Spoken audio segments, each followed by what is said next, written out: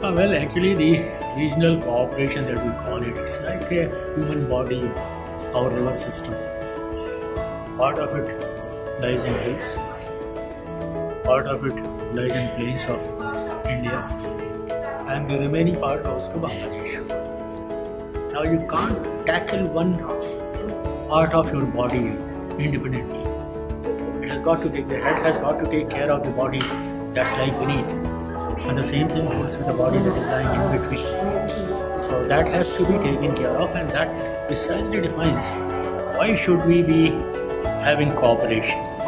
सो so, जो नागरिक समुदाय होता है जिसको हम सिविल सोसाइटी ऑर्गेनाइजेशंस कहते हैं वो अपने अपने देशों में आ, उनका एक मुख्य भूमिका अपार्ट फ्रॉम जिसे सर्विस डिलीवरी कहा जाता है कि काम करना ज़मीन पे, अपनी अपनी सरकारों तक मुद्दों को पहुंचाना भी उनकी एक बड़ी भूमिका रहती है।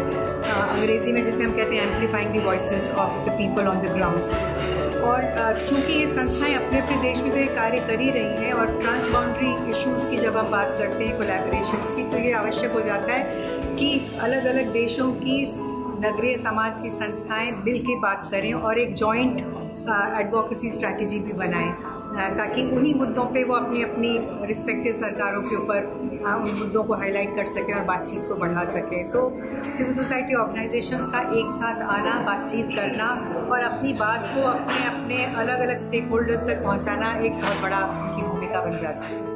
We have very good collaboration with India in remote sensing and, and satellite imaging and, and, also for seismology and earthquake. So we have a, uh, now I, I signed a bilateral MOU with a university in uh, Shoolini University in uh, Mchil in Andhra Pradesh uh, for working together in, in terms of disaster management research uh, and also for capacity building for Afghanistan Disaster Management Authority staffs and also for uh, student, uh, students in master degree and also in PhD degree in, in India. Nepal being a upstream country should provide the warning to India downstream and India should uh, respond to the warnings that Nepal can. Also India can also support Nepal by uh, providing the technical support like satellite estimate rainfall estimates, uh, satellite data, uh, or the support in modeling, weather modeling and flood modeling, etc. So that Nepal can also make its forecast better and uh, we can have better collaboration for Fast. I think the biggest problem uh, with I think that the government faces because it has to be accountable that it is not allowed to fail. We can fail a number of times before we come up with a solution. Uh, the network effect, the communication strategy are all things that we can help the government deal with at a very low cost base. The government's own cost base to provide these services is very high. So I think both central and state governments and local authorities need to look at the private sector as a provider or a platform to provide uh, disaster management uh, information and services.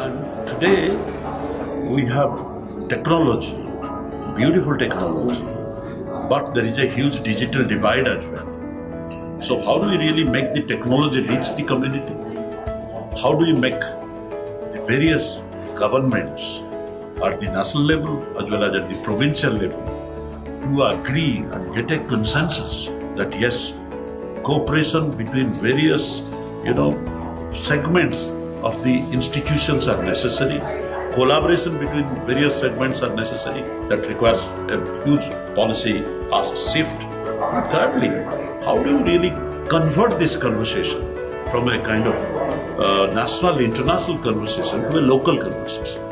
Local conversation means, you know, how do you really make this uh, collaboration also a possibility at the local government level? That means local governments in various parts working together, getting strengthened in setting up systems and processes and taking the message forward.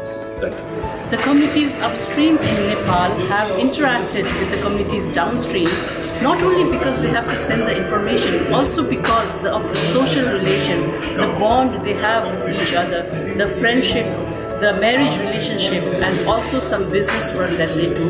They send the information voluntarily to the downstream communities so that they were able to get enough lead time to prepare themselves to deal with the flood. That is, that was the key success, key of the success in the 2017 flood when it happened in the downstream of Nepal and India border. Thank you.